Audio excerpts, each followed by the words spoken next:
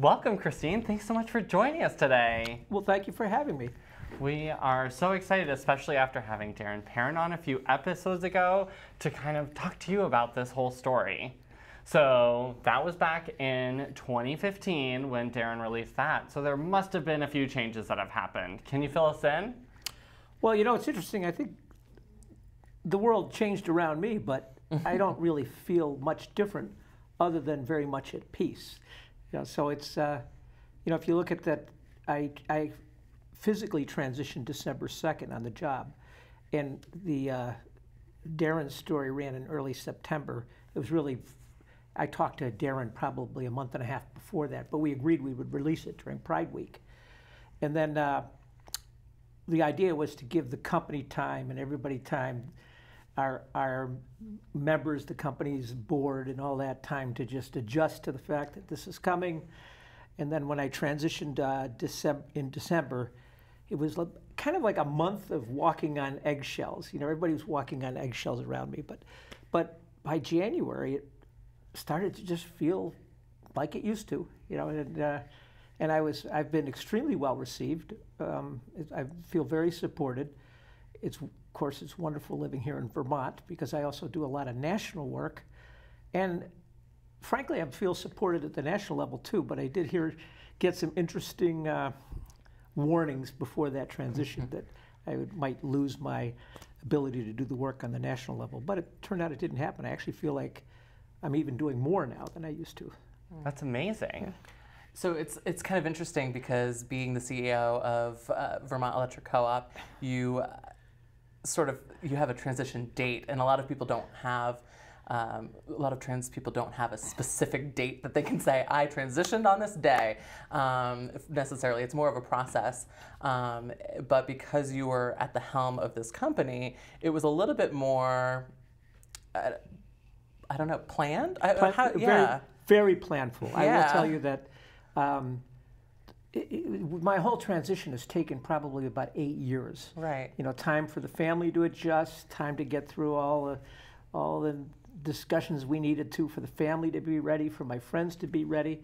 And then it was about starting in about uh, May of 2015, it really was moving into a business plan. You know, mm. It was mm. very strategic, very planned. Every, every step was really well choreographed from my perspective. That's what I, I knew I needed to do.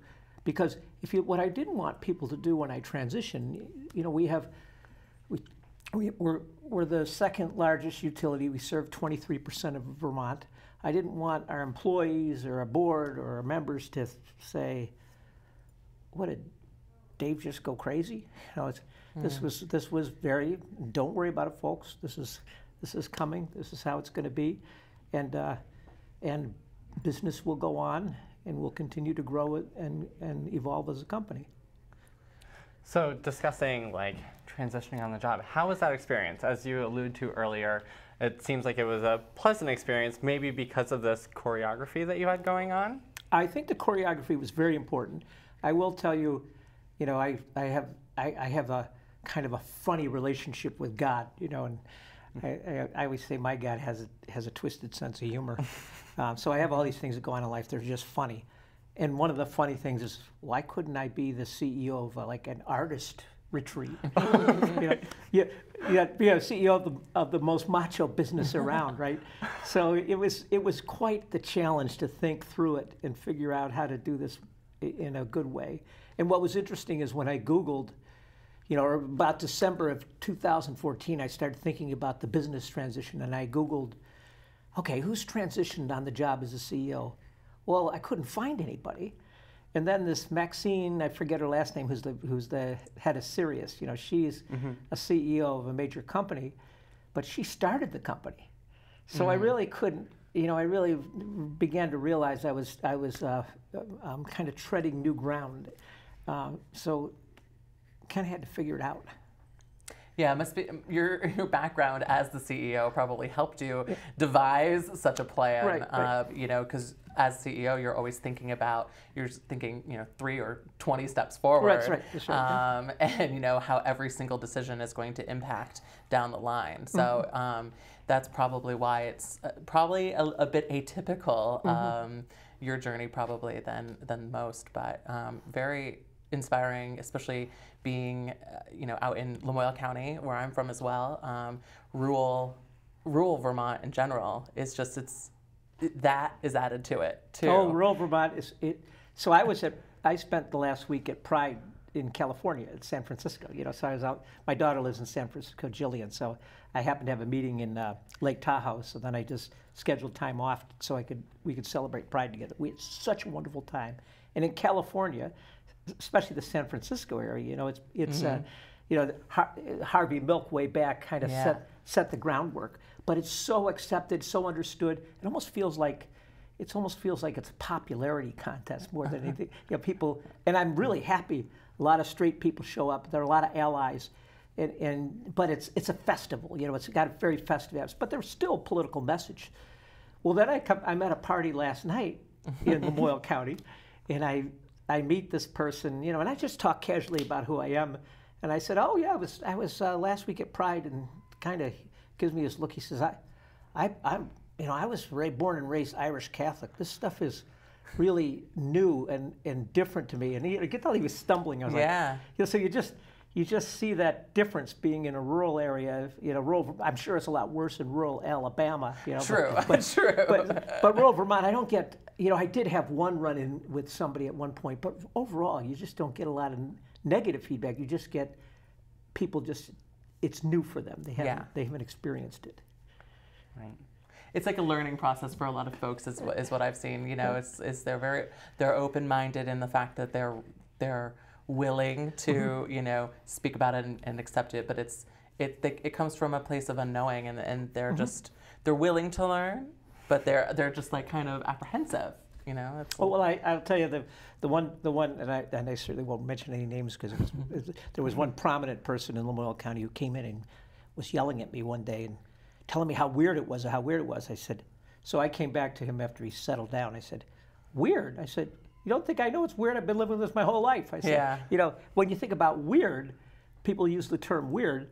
Well, we can be offended by that, or we can recognize weird just means it's different, right? It's I've never experienced this before. Of course, it's weird for you. So it allows me to be empathetic with somebody who might be hostile to me because, mm. yeah, I understand your feeling of weird because you've never run into this before. But let me tell you about me. yeah, validating their feelings Right. and then moving forward. Right, right. Mm-hmm. It's difficult though. Those are some tough conversations that are happening kind of both in our communities and in the workplace. Mm-hmm. Um, and I love discussing both going across the country to California where things, it's more of a celebration. It's more just festival, as you put it. Um, and then comparing to Vermont where we have those rural settings um, where it's a little more challenging. So, thinking of the workplace specifically, what are some of the changes that you feel need to take place for trans workers in the state of Vermont? Well, I do. You know, I, I, I should point out that I, I do come from privilege. You know, when you think about privilege, I what I what I mean specifically is I was the CEO of the company. I I'm started out as a white male, you know, and and I and I have a very strong supportive family. Not everybody has that. So you know, I paint this rosy picture.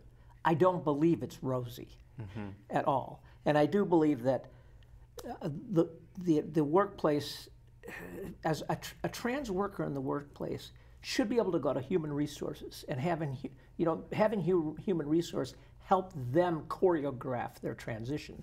Now, what's interesting when you talk about human resources, I've spoken to various um, groups, and, and then speaking to the Vermont Human Resource Association, there are human resource managers who, who aren't even prepared for this kind of, of a situation. Now, I will tell you, our human resources department, I'm very proud of them because I'm going to tell you another story. Is um, I had I developed cancer and I had stage three cancer. It was aggressive. I was sure I was going to die. I announced it to the. I told what I told the employees personally about this story, and the board and the employees were pretty convinced. We were all convinced I was going to die. Now I could do that personally, but when I went to human resources about my transition, which was like in July, the human resource manager said, "Well, Jesus, you told the employees about your own death." I said, "This is harder than telling about my own death." Is what I told her. I said, "I, I really need your help. And they did a great job of doing tremendous amount of research. Now, I believe they did that because they're a great, we have a great human resources department, not because I was CEO. I think they would have done it with anybody. But it's too often I hear stories where those human resource folks don't do the research and they try to work from their own opinions and their own background, and they just don't have the background for something like this I, on the whole. You know, it's something you have to research and study and help. So I don't think workers are receiving the amount of support I'd like them to receive. Who are and I and young workers I've talked to. You know, I go to the Transgender Identity Conference every year at UVM, really just to help the young folks there. And and uh, too many times I hear the story of people having to leave their job. So that's happening in Vermont. Vermont is not. It's a wonderful supportive state, probably the one of the best in the nation. Um, but at the same time, there's work that needs to be done. I think. Something that's really resonating with me that you just said was that it was more difficult to tell your company about your transition rather than telling them that you might be dying from a disease. Like that's so difficult to take in um, and to think about.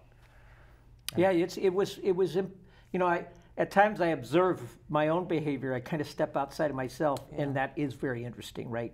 Why was that so hard? I spent five years with counseling. In, I'll go back to the story when I started transgender counseling, kind of in preparation for this transition. I met the counselor, and I, she said, what do, you, what do you want from me? I said, Well, I, I'm very strong leader as Dave, very strong, confident leader, but Christine is kryptonite to Dave. Christine is mm. weak, full of shame. I said, I can't transition as a weak leader. Mm-hmm. So we worked for years, and I did feel when I transitioned in September that I was equally strong as Christine. Like today, I feel like a very strong leader as Christine, and I feel confident. But that was because of the work, the, the, the work I did with the counselor. Now, what's interesting is when I had that discussion, I realized there was still a level of shame and a level of weakness there. Mm-hmm. So when I, I said that to our uh, to, I really had felt ready, but I clearly was had some more work to do, and I, and I worked with my counselor on that. So by the time I did transition, I was fully ready, December second. Right. So that was when I. It was really a surprise to me that I was not able to do that. Yeah, it seems very difficult, honestly. Um, and trans is just one piece of your identity. And so I don't want to just focus on yeah, that during this yeah, interview. Um, and another piece of that is an environmentalist. You are very committed to focusing on climate change and the changes that we need to make both in our state and at a national level. Mm-hmm. Um, can you tell us more about that? Yes, and that's and I'm glad you you you talk about that because um, I'm always I'm always you know I I'm really like the work that you're doing and making people aware of of the struggles of, of the trans community. And I think that's highly important. My, but I, what I'll say about myself is, my, I am going to, my goal is to solve climate change. You know, that's my, my life's work is to solve climate change. And I happen to be transgender. So um, it's, it's, it's, you know, when you think about, I truly believe the world, we are destroying the world and even in the next 10 years, we're already seeing catastrophic changes in climate. And, and I know the movie, the movie is called Denial for a reason, right? Because, because uh, we have today, we have an administration that's, that denies climate change. Well, you know, we're only about six tenths of a degree centigrade away from the methane hydrates bubbling up from the ocean. And that's going to cause a step function uh, and, and, and you know, you, people don't believe in science, you know, but, but 350 million, dollar, 350 million years ago, the exact same thing happened. And, you, and you're able to tell that by the, the by the ice, camp, ice uh, core samples. And 95% of the species were wiped out on the planet. So I believe we're going to see that happen in the next 10 years. I, I believe, you know, it's, I believe we're there. We're right on the precipice of a massive release of methane which is about 80 times more dangerous than carbon dioxide. Will we survive that? Is, this, is that, that sounds very dangerous. It is very dangerous, yes. Oh. I'm, I'm speechless. okay. Okay. So, so methane. So now, now methane like is a gas, right? Methane is a gas. Okay. Yes. And so how is it? Uh, so are you breaking the news that yeah, possibly in 10 years we are going to die? well, I don't know what news. the answer will be, but again, as as a as News a, to us, a utility manager who, Yeah. who's very planful, Right. you know, we should we should be making serious plans. Should we turn these lights off? There's a lot of lights on I us. noticed when I came in, these are energy efficient fluorescent Okay. lighting. I mean, the LED lights are more efficient, but I, I always I'm always Yeah, observing I figured you're always. But it's, Thank you you, know, you know, f- f- we, I will tell you from a personal standpoint. uh, you- Now we'll tie it back to the transition story, right? From a personal standpoint, I know that I personally, and I'm not very effective coming from a place of fear. Fear and anger really destroy our effectiveness as personally and as, as, a, as a species, right? So, so we don't need to fear.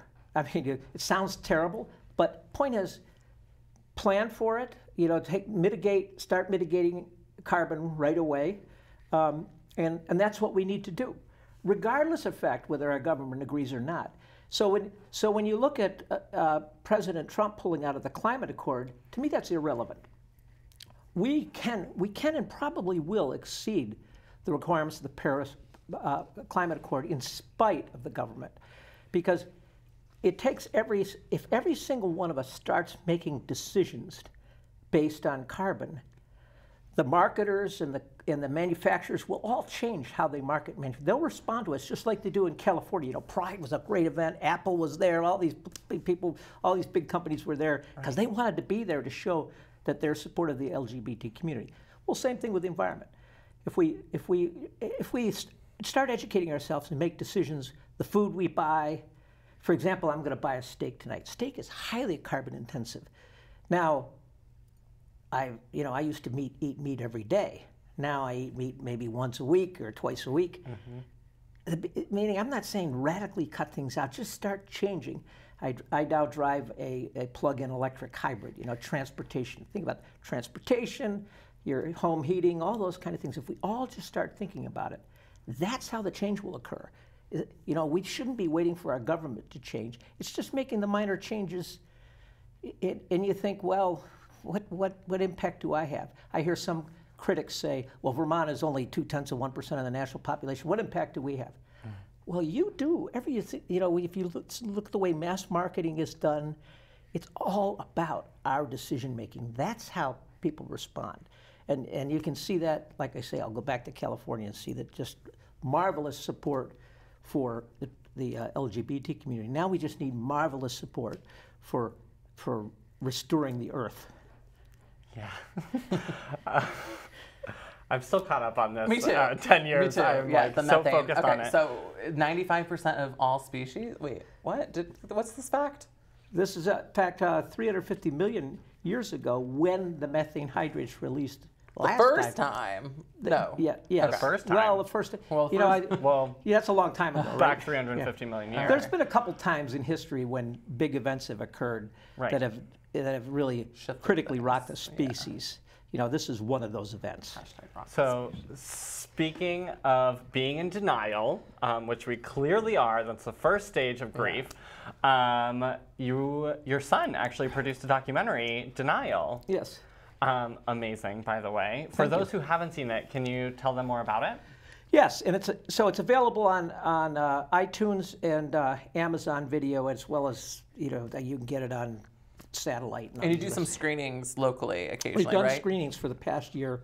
In fact, Memorial Day weekend, I was flown out to Spain for and met Yes. and for the weekend and met with a bunch of energy activists there. It was all so it's so it's getting it's getting world recognition, but it's not it's not it's not really getting reviews or po- it's not necessarily popular, but but it, the the messages are kind. You know, I'm not sure how you know how uh, mainstream the messages are as, as as we're talking about transgender and climate change, right? But but uh, he, my son was uh, he would go to work with me when he was in high school. You know, I'd be go at a major outage and he'd you know it'd be 11:30 at night. Can I go with you on this outage? Sure. And and you know he he he didn't spend a lot of time in school like others did, but it, but he was but his whole goal was to do film in life. So I honored that goal.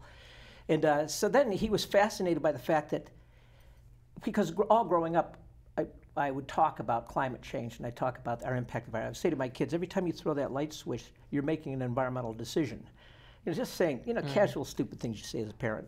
Um, but apparently got into the kids' heads and got into his head. And you know, you'll see that scene in Denial when he's when he's having the child and thinking about energy. He's like, ah, you know, can't get it out of my head. The fact, energy consumption. So he always wanted to make a movie about climate change, and he managed to get some other. Um, fairly high level folks involved, such as Eugene Jarecki, who's a major documentary filmmaker.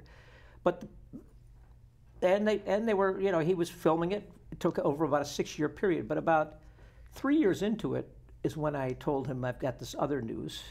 And at that point, he had discovered if there's going to be news, he's bringing the cameras along. So you'll see he filmed every major event. When I announced I had cancer, you know, I called him. I said, Derek, can you come for dinner?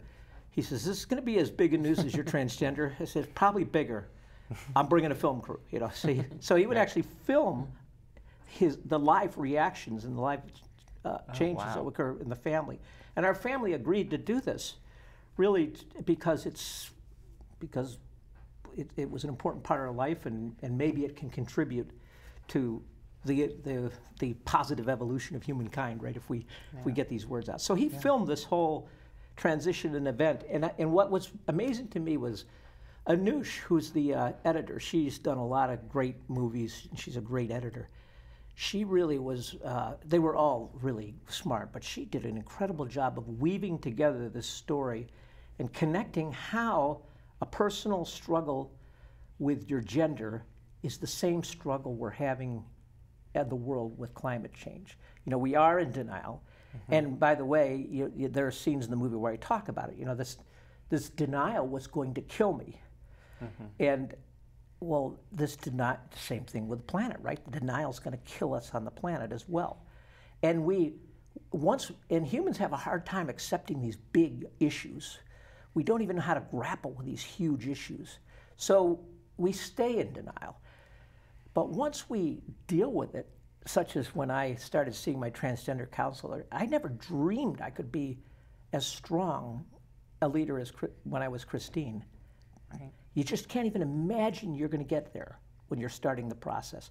Same thing with climate change. You know, how can we solve this big problem? It's huge. Well, we can, and life will be better when we get to the other side. That's really the story. So, and what I'm hearing is there are small changes that we can make in our day to day lives so that we can move from denial into acceptance. Right. Um, and what are some of those small changes that we can make? Well, it, so I'll, I'll hit the major the major themes on carbon. You know, b- b- n- nationally, Vermont's we have a very clean electric footprint, but nationally, about a third of carbon comes from electricity, about a third from transportation, and, and you know, the, a large percentage from heating and cooling, and our food choices. Are, so it's all it's all. If you think about your choices every day and what you purchase. You know, it's really understanding the carbon impact of, of, of each of those items. And, you, and, and it's not like you need to go out and become a PhD researcher.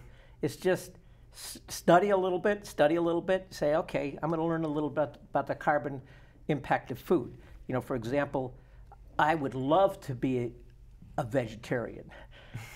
but I love my steak. I love, my, you know, it's like I just love a Right. good burger. But when you have a steak, Right. buying it locally So, yeah, from a yeah, you buy it locally. so Think that about the that steak didn't come from Texas. the farm to plate initiative Yes. is the the, the, the uh, fuel loading of trying to transport these all around the world. You know, buying strawberries from New Zealand in January is probably carbon intensive.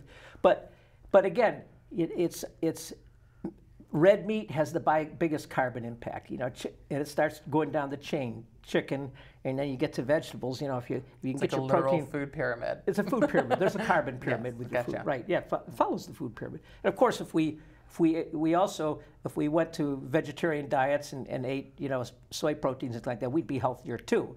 So it's Right. So the same thing that helps us from a health standpoint helps our climate from. A, so that's one example, right? Understanding the carbon loading of your food pretty much follows the same food pyramid.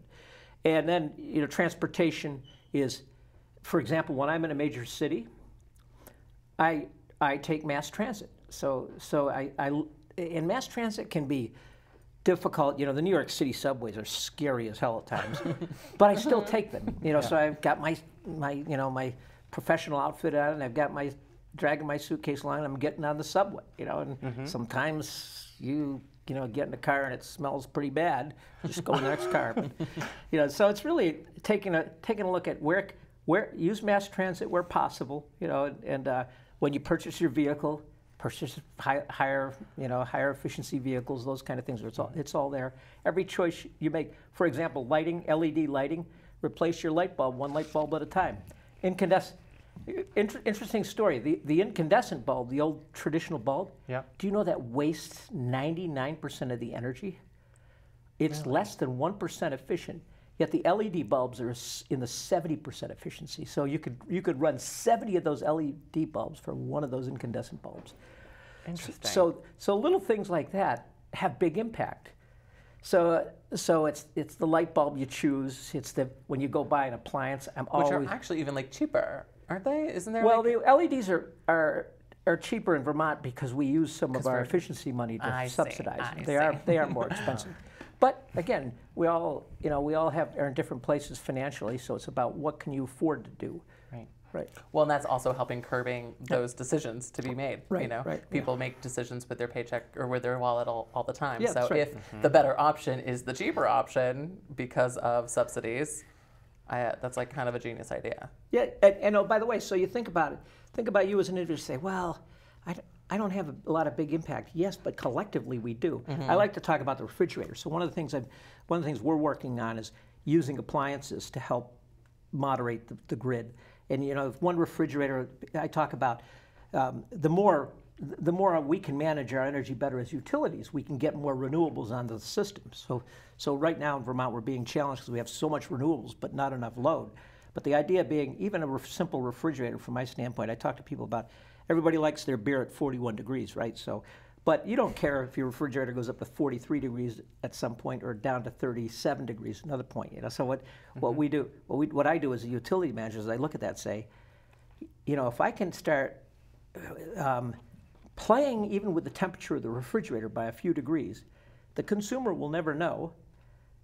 You're gonna, you'll give me permission to do that, but and one refrigerator alone doesn't do a lot. But if you've got 30,000 refrigerators, it does a lot. Now, once you start doing that, then the marketers are going to respond and change the products, and they're going to start selling more efficient products. You know, making efficiency and uh, low carbon a pop popular.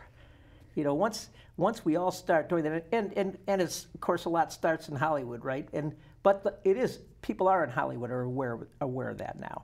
So it's, but it is about turning. You know, instead of you know like the big trucks in Lamoille County with those, you know, the, what are they, coal bur- uh-huh. the coal burners, the thing where they fire Yep. the black stuff. You know, that's like, if that's popular, then we're going the wrong way, right? Making efficiency and, and low carbon and green popular, if that, be, you know, people people have their images, and if we start forming that as the positive image, then we've changed. So, if people want to learn more about all of this, where would you recommend for them to go? Wow, that is such an excellent question. Thank you. Does Denial have a website? You know, you know, it's funny. I, I tell our employees, everybody knows my trick. My trick. When it's a, when it's I say when I say it's a good question, that means I have an answer. When it's an excellent question, it means you've stumped the chump. Oh, you know, that's a great point because I'm a I'm an, a recovering engineer and I do research all the time. Is there a simple place to go? You know, our denial website isn't even the place to go, and that's why that was such an excellent question. Maybe my son and I should start working on that. There, I'm there you not- go. I'm Gave sure. Derek another task. Yeah, I'm sure it's out there somewhere. You know, maybe go to 350.org. Maybe if that's there, but I just don't know the answer to that question. There may not. I wonder if it's out there. Mm-hmm. So we will stay tuned for that Yes. and wait for the resource available. Right. But in the meantime, definitely check out Denial, the documentary, on iTunes and on Amazon. Right? Yes, please. Awesome. Well, thank you so much for joining us today, Christine. We had a wonderful conversation, even if we're now like contemplating the next 10 years of our lives. This methane, I will not sleep tonight. right. Nightmares. Yeah. Literal And, emoji you know, you contribute a little bit to methane too. So just think about that when you eat your beans and all those kinds of Oh yes, those vegetarian meals that we love so much. But I'm sure that's a lot better. Locally sourced and organic. So we'll survive the methane implosion. That's good. All right. Awesome.